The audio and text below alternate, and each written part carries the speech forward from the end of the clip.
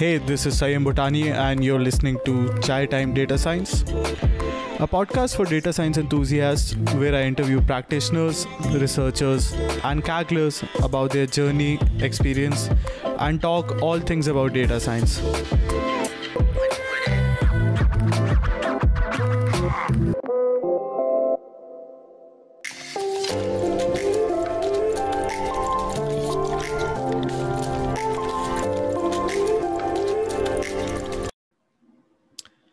Welcome to Chai with great researchers and professors, CTDS.show. In this episode, I interview Professor Laura Leal-Taixé, who's a professor at the Technical University of Munich and head of the Dynamic Vision and Learning Group.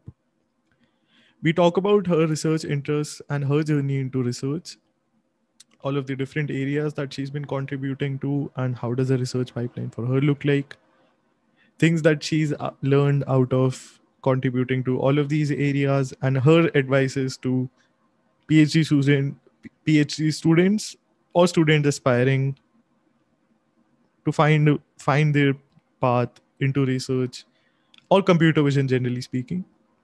Laura has also been teaching a few courses at her university and we dive into common mistakes that students make. Her favorite advices to students of all levels and general discussions about research. So, without further ado, here's the conversation. Please enjoy the show.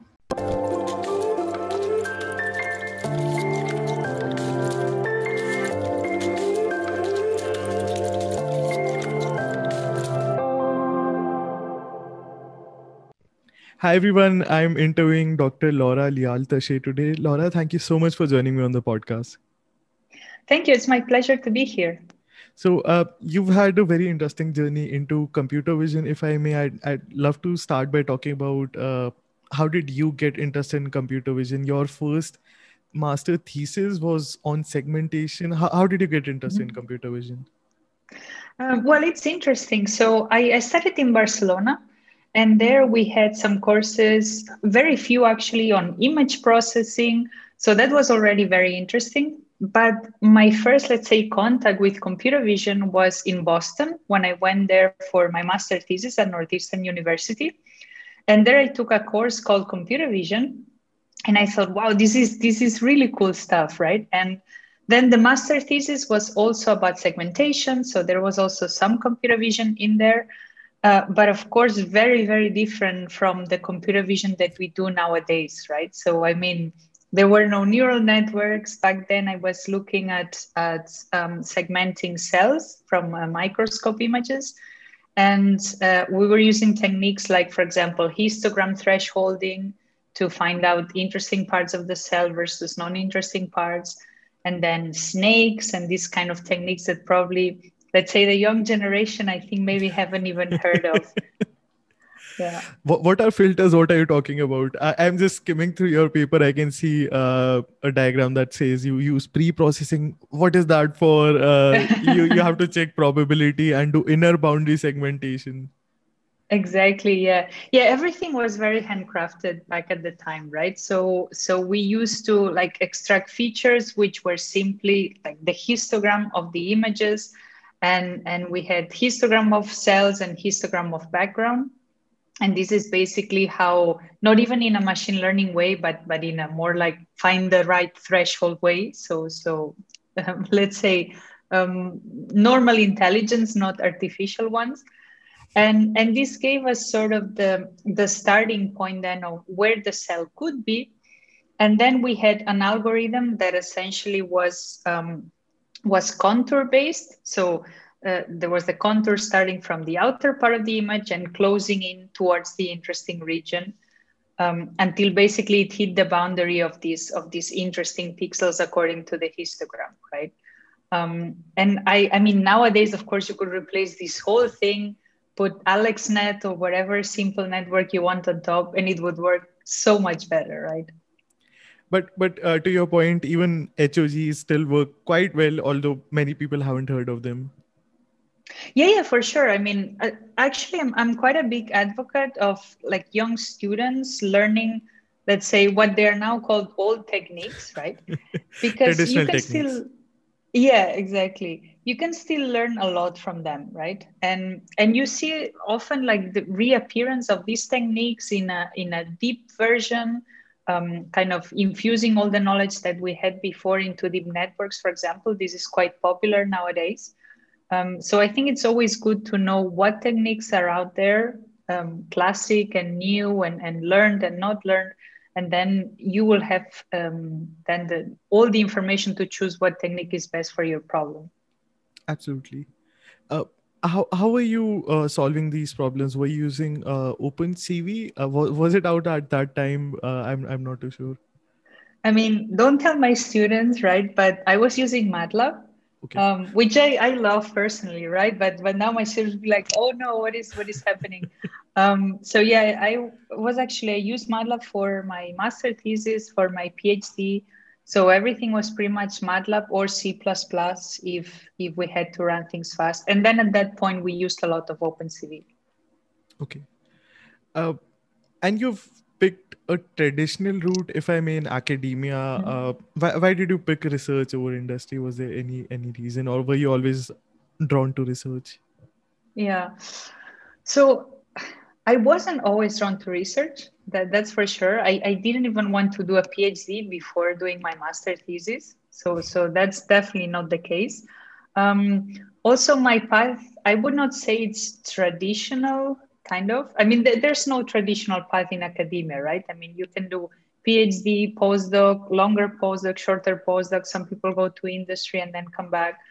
Um, for me, I just found out that the skills I had much, much more the academic world than the industry world. So I, I didn't like programming so much and now for example that i see my students i mean they are programming beasts right? I mean i don't even get into into how they program things. And what i like to do is i, I like to think about problems and think about solutions for those problems from let's say a high level. And so all this idea of going to a company spend hours programming i was this is not really my path. And so that, that's how i ended up in academia. I think that was quite the natural progression uh, this was a question to Torsten, which also uh, applies really well to you, uh, Torsten Sattler.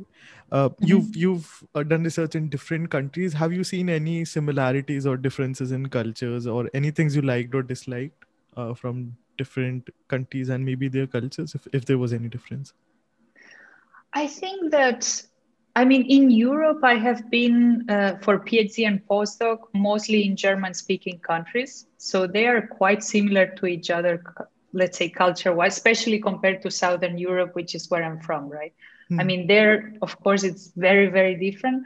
But i would say in central europe it's it's quite similar. I mean they have a very strong um, let's say university culture i would say. So so they really believe in in the public system for for education. Uh, they believe in the research that is happening at universities. They also believe in the contact between university and industry so I think like the whole network is very, very powerful for both industry and academia. And compared to the US, I think it's, um, let's say it's a bit easier, I think, to get funding, for example. At least that's what I've heard. Of course, I've never been a professor in the US, but what I've heard is that it's, it's quite challenging to get funding. Um, but I found in the US that when I was there for brief periods of time during my PhD, I found that the environment is very, very exciting, right? So in the lab, people are like PhD students, postdocs, they are very excited about the research, about what they do. And this is the kind of excitement that I try to bring back also to my group here, here in Munich. Um, so diving into research, uh, what does a research pipeline for you look like? And i'd love to dive into any one of our papers just to understand how how's the process for you? How do you come up with an idea to the mm-hmm. end result? So uh, if you could just speak to that. Yeah well every paper is its own world right? Definitely. Um, so there are some papers that i just you know i listen to to talks um, either inside the group. We have for example weekly journal club talks in which people discuss state of the art, interesting papers, maybe papers that have won an award at CVPR or NeurIPS. Um, we discuss it. Why is this paper interesting? What do you think the impact can be? And this can often bring sort of like a pool of ideas, right, on how to use that paper for a different application. Or someone that had a problem now suddenly says, oh, I could apply a similar idea as that paper did. So sometimes these, these kind of natural things happen. Um, other times I just, you know, have an idea out of the blue and we say, okay, let's try it out. You know, if it's more like the, the crazy type of idea. Um, but most of the time it's it's kind of the boring path towards getting an idea, right? Which means you take a look at your problem, you analyze what is not working, and you try to find a solution for it. Simple as that. And this requires, of course, quite a lot of work from, from PhD students in understanding the problem, a lot of meetings in which you talk about possible solutions until you know you hit the right one and then you go from there. Otherwise how do you come up with these ideas? How do you find ideas that are worth pursuing? Dima uh, Dima Damen mentioned she's always uh, full of ideas and her time doesn't allow her to pursue those ideas. Is it the same for you yeah pretty much pretty much. So right now i have quite a large group. Um, and so you know i can have tons of ideas and, and a lot of people are working on these ideas.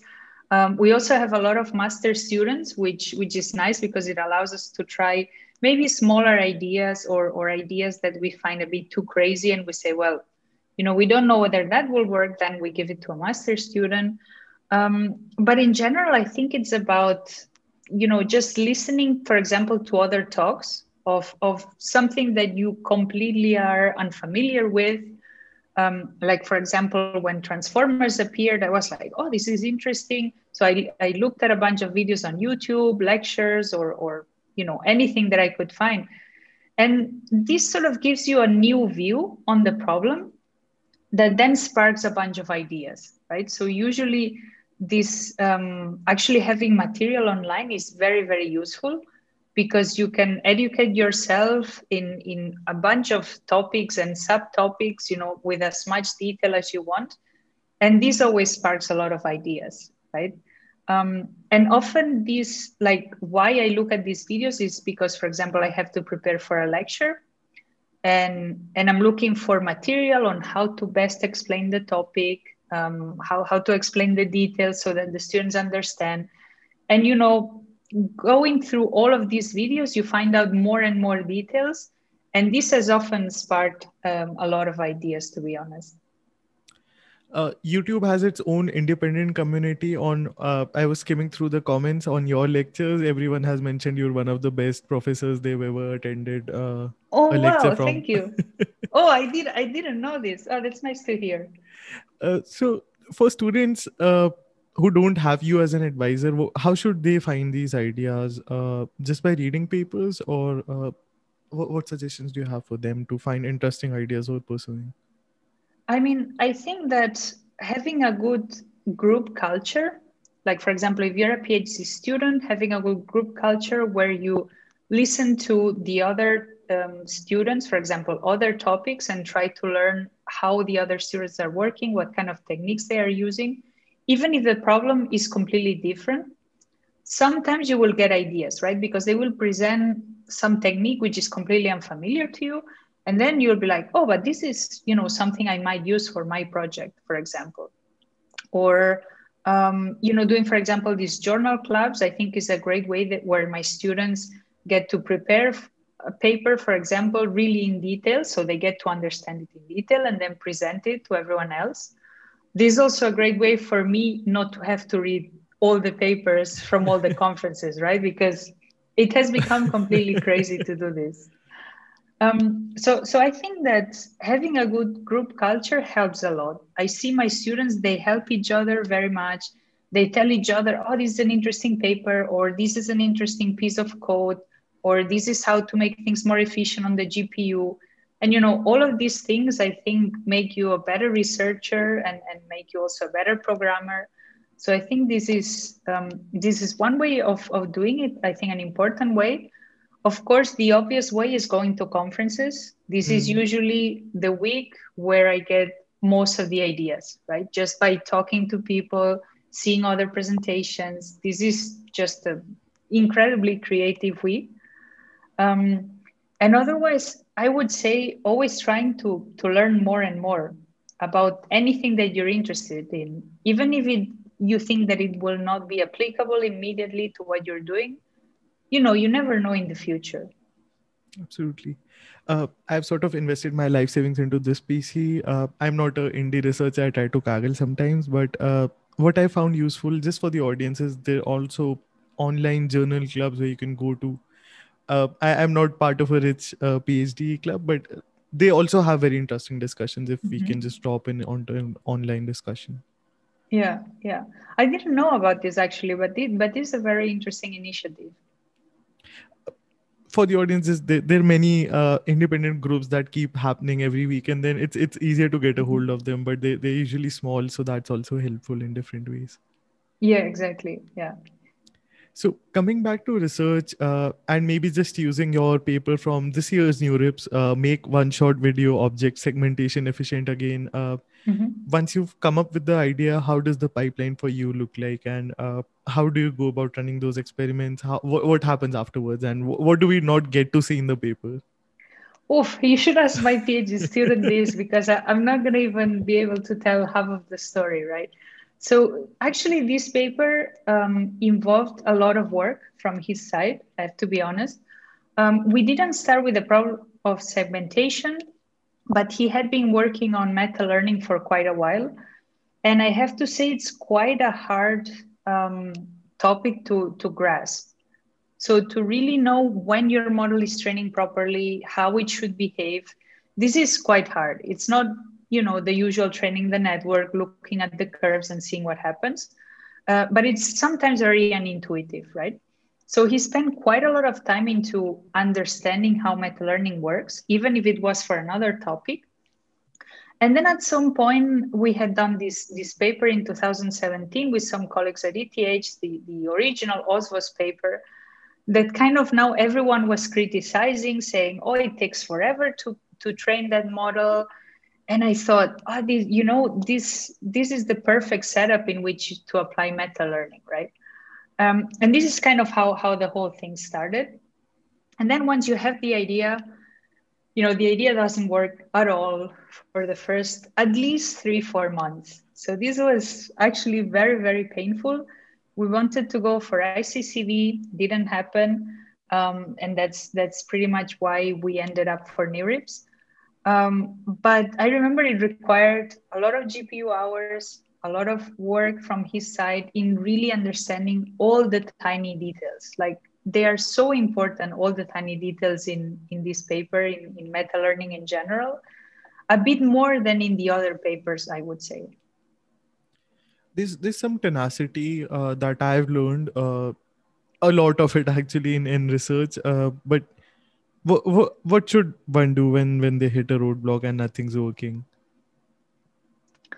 I mean the thing that i think helps is is just talking about the problem with someone right? So usually we have weekly meetings um, me and, and the phd students and we just talk about what things are not working right? And we go into as much detail as needed like looking at training curves visualization helps a lot. So, so try to visualize everything that you can, variables, gradients, results, anything. I mean, th- this is really the only way. Of course, this takes a lot of time, but otherwise it's, it's really impossible to find out what is the problem unless you can really visualize every little step of the, of the algorithm and what's happening. And of course, with neural networks, this is not always straightforward, but yeah, that that's probably why it took quite a lot to uh, to get to the bottom of this paper. Nothing works until it does. exactly. Yeah. Yes. So uh, you've you've contributed to many interesting areas of research, uh, generative networks, segmentation problems, uh, pose estimation problems. what are your current research interests, and what, what does a day in your life look like? What what are your role? Uh, what what all does your role involve?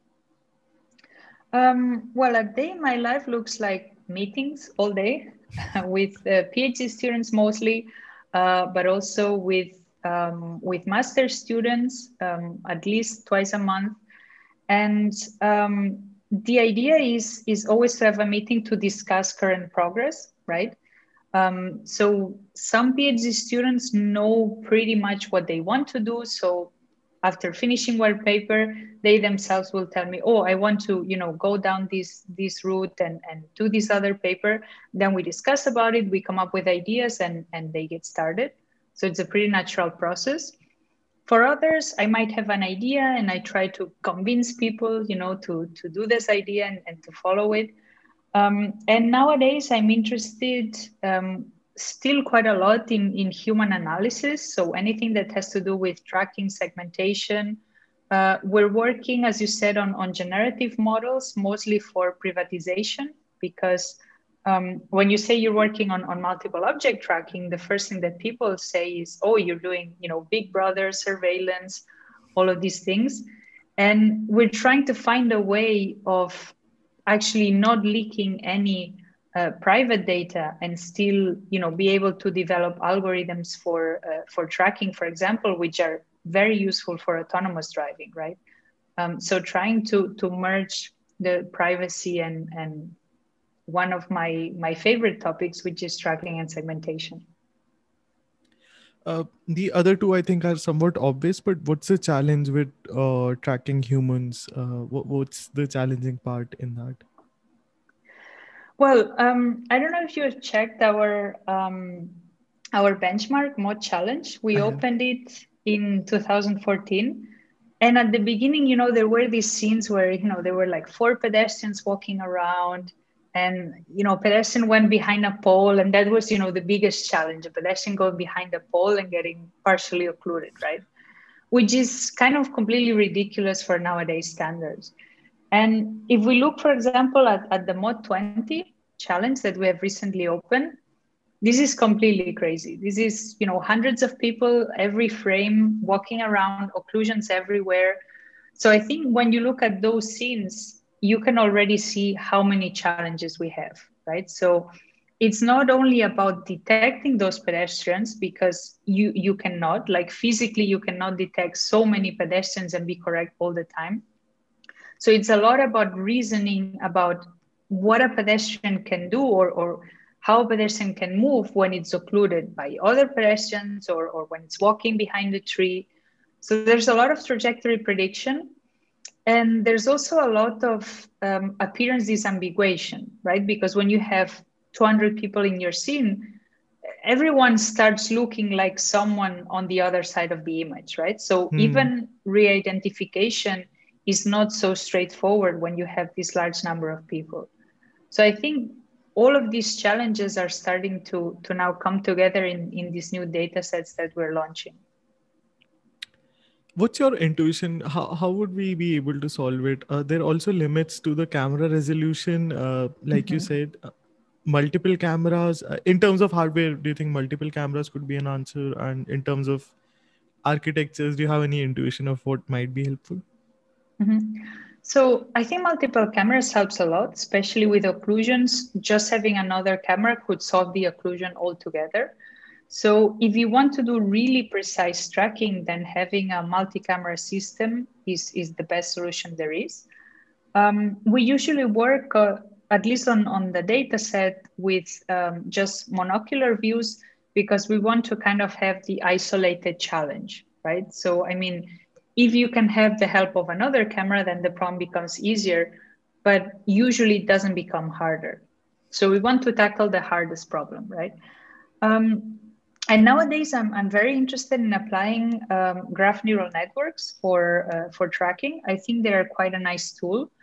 And you can also change how graph neural networks behave so that they fit the tracking problem, right? So it's not just like taking the tool and applying it, but actually really adapting the operations within in order to have uh, the best outcome for this particular problem. And so we're looking uh, into this direction. We had this CVPR 20 paper on, on this topic, and we're looking to expand this a little bit more to target um, long-term occlusion. So when the pedestrian is really occluded for a long time, that is something that we found pretty much all methods are ignoring because it's really, really hard. And so we're trying to, to tackle these kind of problems now. Okay. Um, zooming out of uh, your research interest now, uh, are there any domains outside of the ones that you've contributed to that really fascinate you and you, you like to work on or uh, are just fascinating in general? Mm-hmm. Well, I really like um, the um, well one domain in which we have started contributing, which is uh, visual localization. Mm-hmm. Um, so in which um, I started because because Torsten was uh, has been working on this for a long time. Like he's one of the of the experts in the field, and I got interested because there was very few learning inside the the whole um, the whole field. And so I told him, look, I mean, we could do something with learning here. I think there's potential. And he was a bit skeptical at first, you know, but then he, I think the idea grew grew on him. And and nowadays there's quite a lot of learning in visual localization, I have to say. But I find it fascinating to have this mix of learning plus the constraints of, for example, multiple view geometry.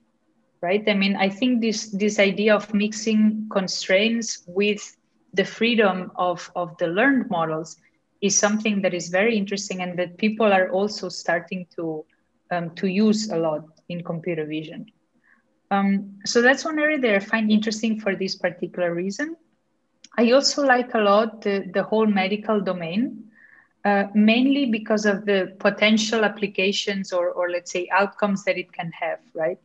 Um, so for me, um, whenever some some doctor comes and says, you know, what can you do with these images? Then I say, oh yeah, you know, we could segment these, we could find the tumor, I don't know, things like this. I mean, they are so happy, right? Because they they didn't know that this was possible, and for them it opens up a completely new world. And for me, it opens up somehow the the path towards doing something that has an impact in another field, like for example, the medical field, which is of course really important. And and so it's kind of exciting, right? To see that you can have also an impact in other fields like the, the medical or biomedical field. And do, do you think the the uh, limited applications are because uh, an expert hasn't looked at the problems yet? Uh, there are, are there any uh, low hanging fruits that are just untapped because no one has looked at them? I think so. I think so, definitely. Um, we had, like, for example, we have a collaboration with um, astrophysicists, and they were just at, at, the beginning it was just a casual conversation, right? Um, so I met this um, professor uh, that's at MPI in Munich, and she she's an astrophysicist and was telling me about her problem. And then I said, "Oh yeah, sure, this we can do with deep learning, right?" And she was like, "Oh, what is what is this?" You know and so it, it kind of started in this way and i think the hardest thing for people outside of the domain is that they don't know how to pose their problem so that it mm. can be hmm. digested by a neural network right? So how much data do i need for example? Like they give me two images and then they're like what can you do with this? I'm like well nothing right? I mean they're just two images right? So the scale of the images that you need also sometimes massaging the problem so that it can have a clear input and output. This is also something that that is somehow i mean it's hard to think about if you if you're not in this mindset. Um, so sometimes it's just about explaining what we can do and what we need as input output. And then slowly they get to a point where they understand what a neural network can do how it does it and then we can go ahead and, and do really cool things. Um, there's another aspect uh, of your your work uh, which all professors have to do uh, coming to that which is teaching uh, mm-hmm. what's uh, one thing you've enjoyed while teaching students and are there any mistakes that you've observed uh, i'm sure the audience would be very varied there would be a mix of undergrad and master students do, do you see any common mistakes between different levels um, you mean mistakes of the students or mine? Yes. Because they're mistakes both. of the students. mistakes of the students. Well, um, so so first of all, just to give a little context, so I do teach Introduction to Deep Learning, which is a super broad lecture, um, and this involves undergraduate and graduate students, and this means that so the main problem we have there is that the knowledge is just too diverse right? So there's some people that say this course is too easy, some people that say this course is impossible. I mean, it, it's normal, right? Because some person has just started the bachelor and the other person is finishing the master's, right? And they are both in the course. Um, but I think that probably one mistake that students do, uh, it's, I, I don't know whether to call it a mistake, right? But it's the feeling that we need to provide the students everything and they don't have to do anything for the course aside from following all the rules, right? So they say, okay, if I look at all the videos and if I do all the exercises, then I have to pass this course, right? And th- this is not really it, right? It's not a cookbook that you follow the steps and then you get to the end point, right? I mean, you need to have also your own interests. You need to get interested into the topic, even look further into other references, ask questions, um, discuss with other students, go in depth also into the exercises so I think that the whole learning process is much, much more complex than than what you see usually in the lectures online, right? Which is a nice video, it's well prepared. Yes, the exercises are well prepared, but the work that the student has to do is just much larger than that. And I think that's something that sometimes um, it's hard to grasp. I think for the for the students to get into this mentality, right? Do, do you think masters or uh, more advanced students are easier have, have that mindset uh, of of doing their own homework if i may? Honestly not. I i found um first yeah no that's true right? I think it depends on the character to be honest it also depends on the interest right? I mean there were also courses at university that i did. I had zero interest in them. I did i did not put this passion into the course right? Mm.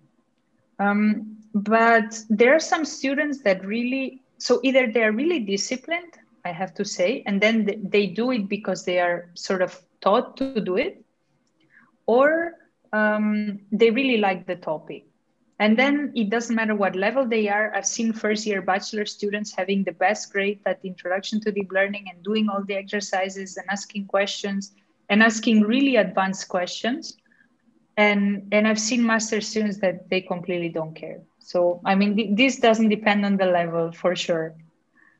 Okay, makes sense. Um, apart from that, people who are taking online lectures, uh, trying to break into the field, maybe maybe into a course or into the industry, do you have any best advices on what resources to follow, how to get them? Mm-hmm.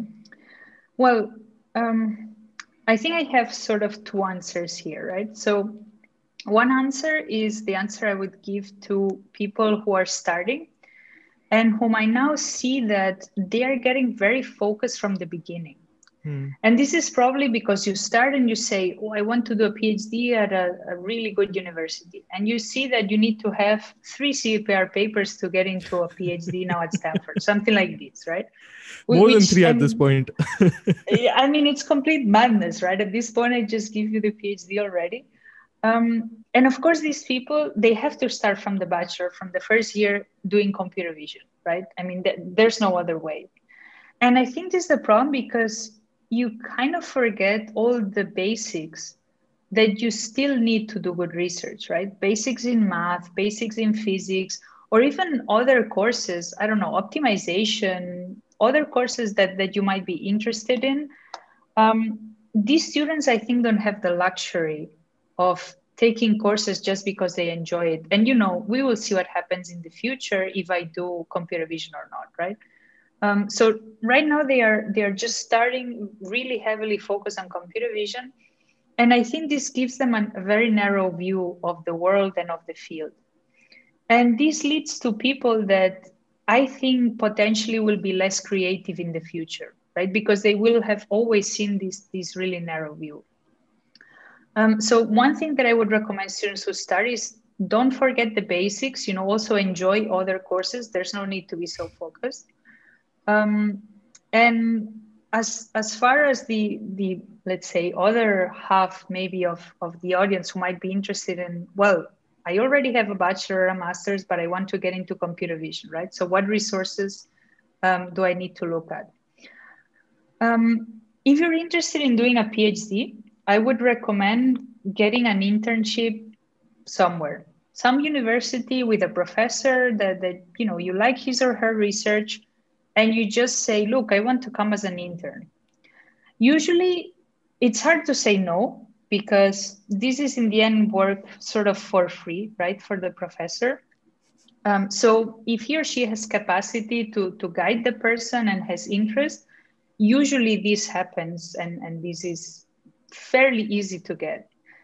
And then you are already in this in this group that I was talking about before, right? A group that is interested in computer vision that does all these activities together where you can learn from not only learn from your project, but learn from everyone, right? Learn from the advisor, learn from your colleagues.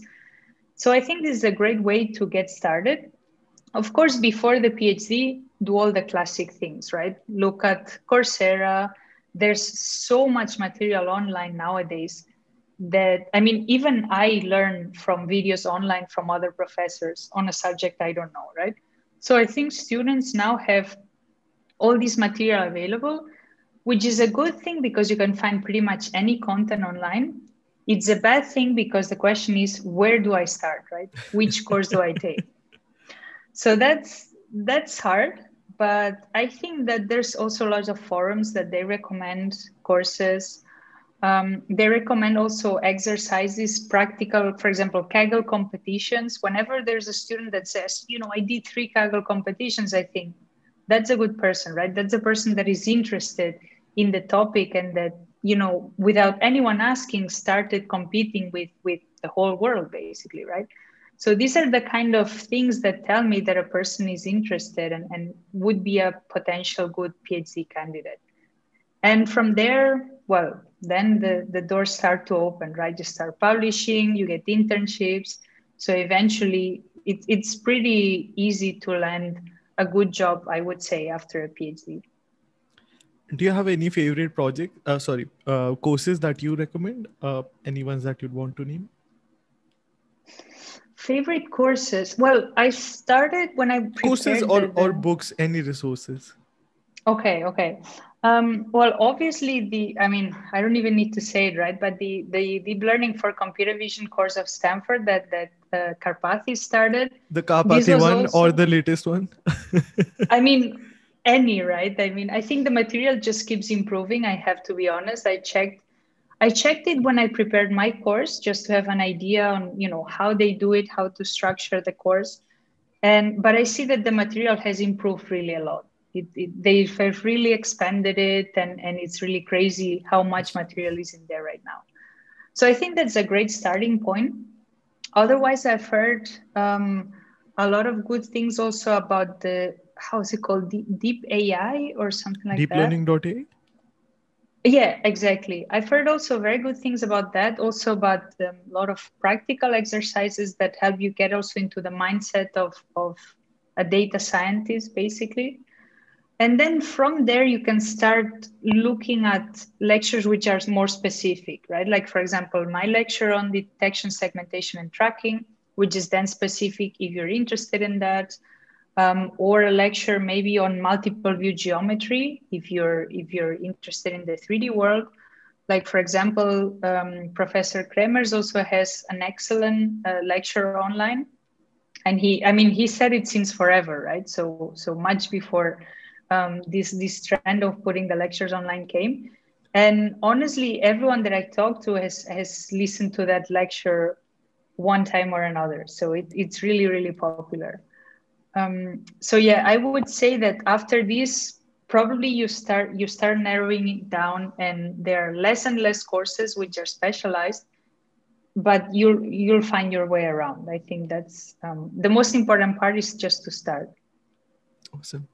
Uh, this is again i'm sort of repeating the last question but this is the question that i usually end the podcast on because i always get very uh, diverse answers. What's your best advice to someone who's just starting their journey today? Um, i would say maybe that's a bit typical right? But i would say always be curious right? Um, so once you stop learning you start thinking that you know you think you know everything and that's always a bad place to be right? So so i thought that you know when i finish my phd um, or when i become a professor well by then i will know a lot of things and you know i will not need to learn anymore. And that, that's really far from what's happening right? So so the coolest part of my work is to learn new things. And the field is evolving so fast that you need to do this. You need to update yourself. So i think one of the of the things that you need to have to get into this field is this mentality that you will learn forever and that your skills need to change and you need to have these basics that, that i was talking about before in order to put then all the new content on top and make sense of it, right?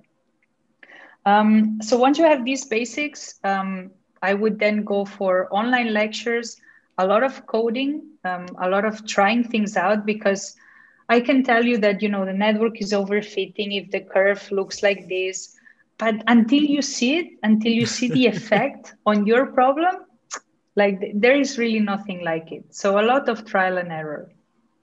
Until you spend uh, a hundred, a few hundred dollars on wasted experiments, you won't know the pain. exactly, exactly. Uh, that's that's a great advice to end the podcast on. Uh, Laura, you are at L E A L T A I X E on Twitter. Any other platforms where the audience can connect with you?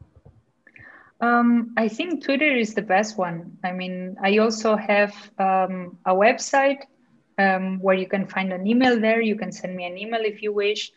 Uh, but I think Twitter is probably the fastest way where, where people can drop me a message. Okay, I'll have your Twitter for anyone who didn't type those let- letters into the screen uh, in the show notes as well.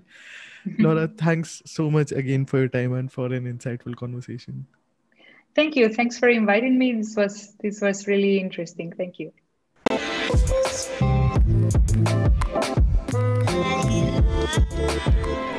Thank you so much for listening to this episode. If you enjoyed the show, please be sure to give it a review or feel free to shoot me a message. You can find all of the social media links in the description. If you like the show, please subscribe and tune in each week to Chai Time Data Science.